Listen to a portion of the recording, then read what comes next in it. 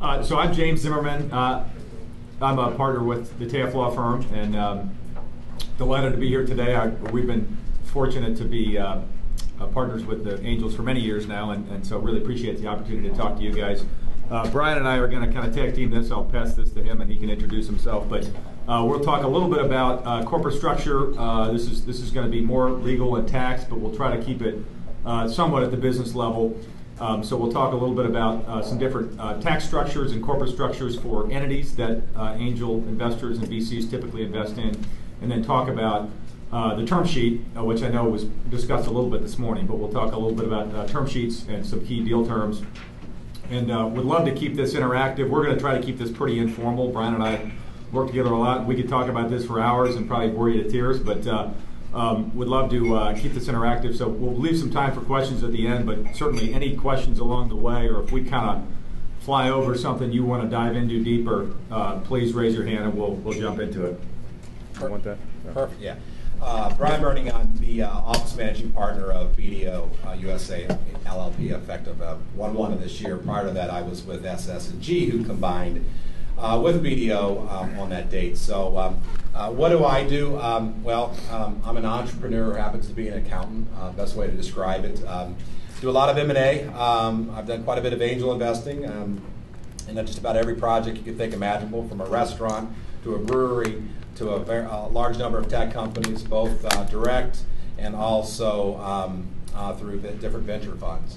I've also um, uh, done convertible notes. I've done preferred stock.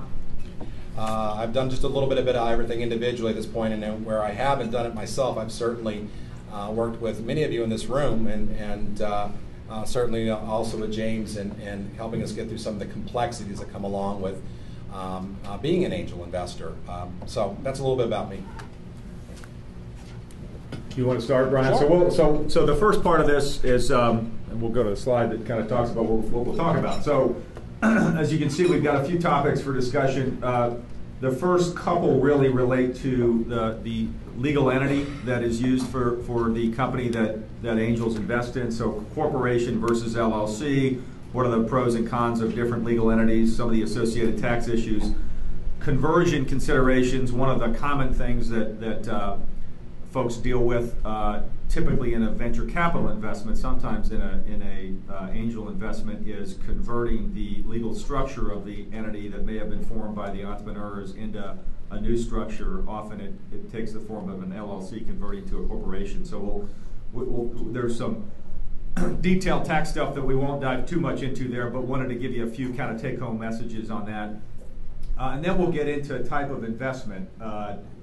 Convertible debt versus preferred stock or equity, some of the tax issues associated with that, particularly convertible debt. Again, there's some kind of watchouts and, and uh, sort of worst of the wise that Brian and I have, have, developed over the years on convertible debt we wanted to raise.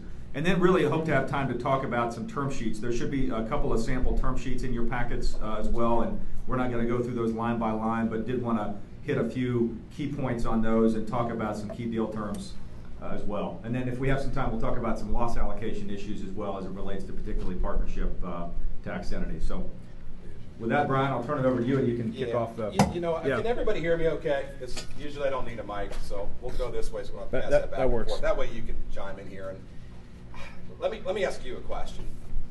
Do you ever recall in a circumstance where you were representing a minority shareholder where you were able to dictate the type of entity that they wanted to be?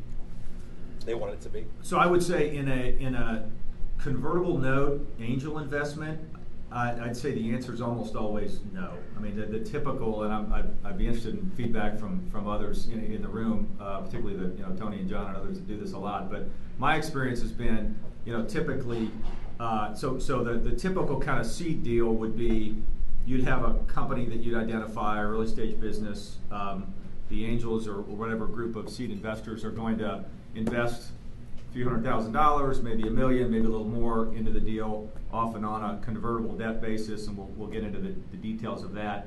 Um, most of the time, the, the legal entity is what it is. It's, it, it, was set up as a corporation, it was set up as an LLC, and, and we, we kind of decide to live with that. Uh, we decide it doesn't make a huge impact either way to us. The, the place where I think it does make an impact is in the later round when you're doing a preferred stock round, and, and often that is with a what I'll call an institutional venture capital investor, like like a Dan Fleming who was here before.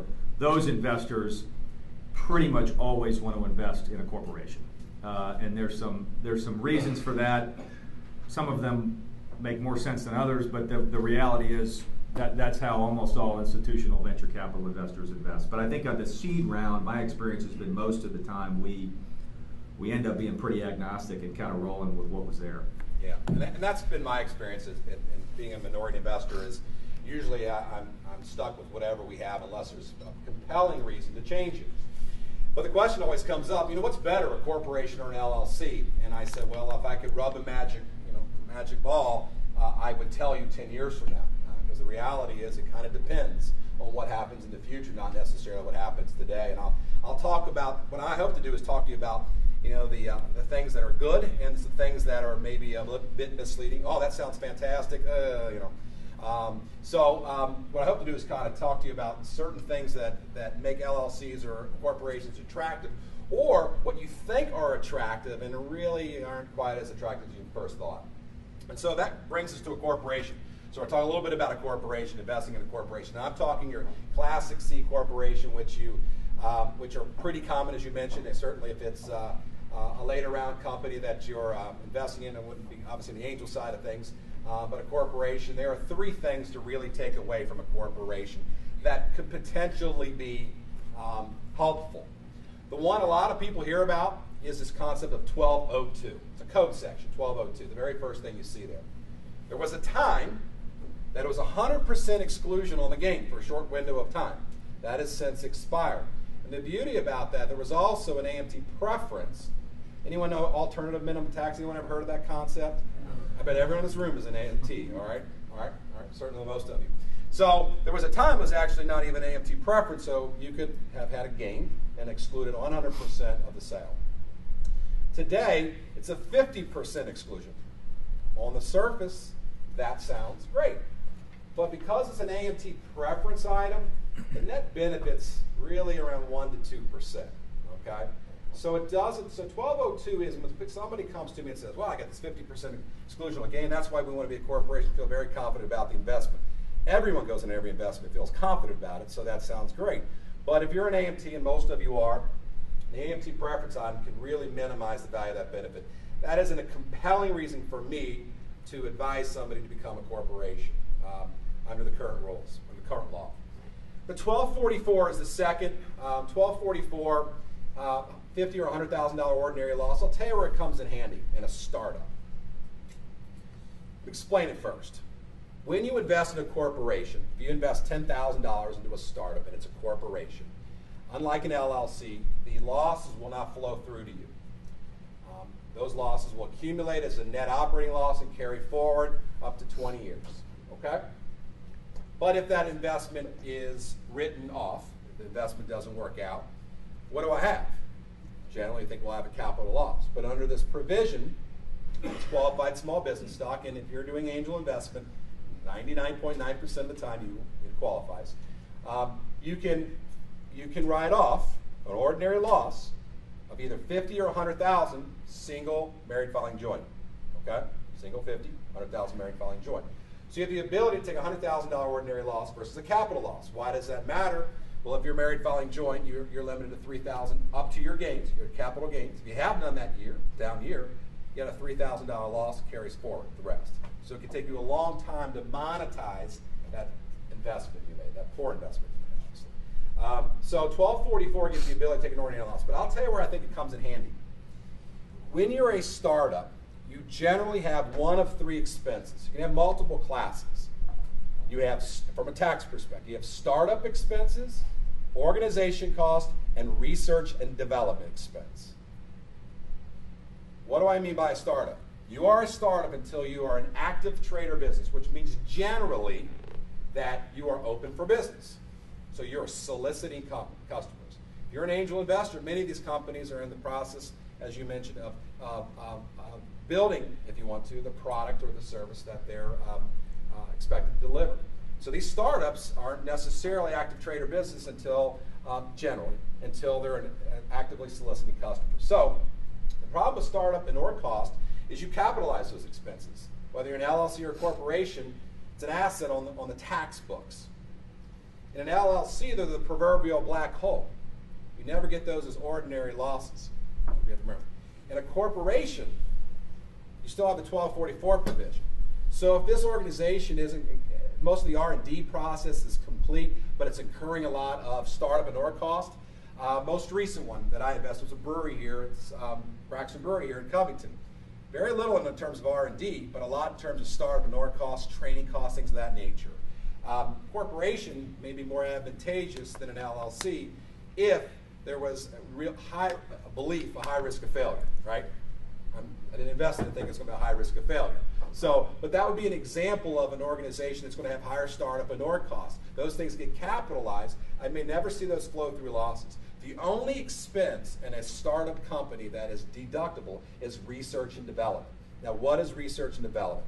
That can be labor costs, that can be materials, it can be supplies, anything that's used to develop the product that uh, you're investing in, the company is building. Make sense?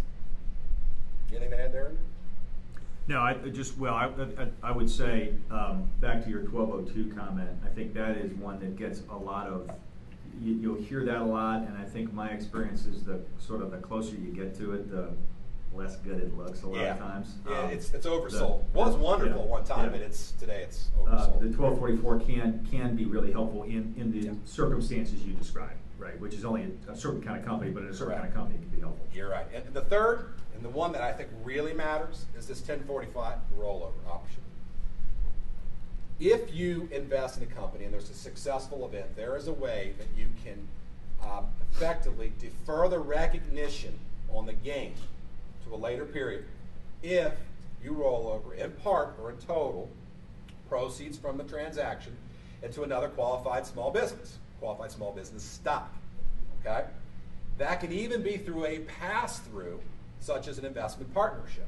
So if I have a company that was through a successful transaction, let's say I have a $100,000 gain to report, and, and let's just presume for, for my basis was zero. And I decide that I want to roll over 60,000 of that into another company. I have 60 days to do that.